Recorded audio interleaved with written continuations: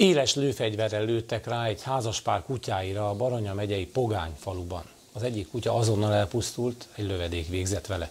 A rendőrség órákon keresztül helyszínelt, de egyelőre nem találták meg a gyilkos gólyót, de állatkínzás gyanúja miatt eljárást indítottak. Puskaropogásra lett figyelmes a házaspár a pogányi otthonuktól nem messze. Nagyon megijedtek, ezért hazarohantak, nem tudták, mi történhetett. Először mozdulni sem tudtak, úgy ledöbbentek a látványtól. Kutyájuk életten előfeküdt az udvaron. Mire visszaértünk, azt tapasztaltuk, hogy az egyik kutya fekszik az udvaron.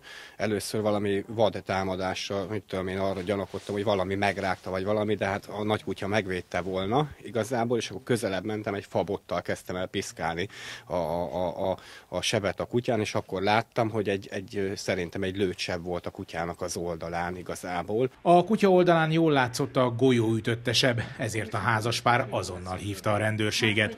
Maja gazdája Bianca könnyeivel küzdködve mesélt a történtekről. Ők megállapították, hogy lövés történt, kijöttek a helyszínre, több órán keresztül ezt csinálták hajnalig, és most várunk, hogy elszállítsák, holnap lesz boncolás, holnap kiszedik a lövedéket, akkor talán többet tudunk.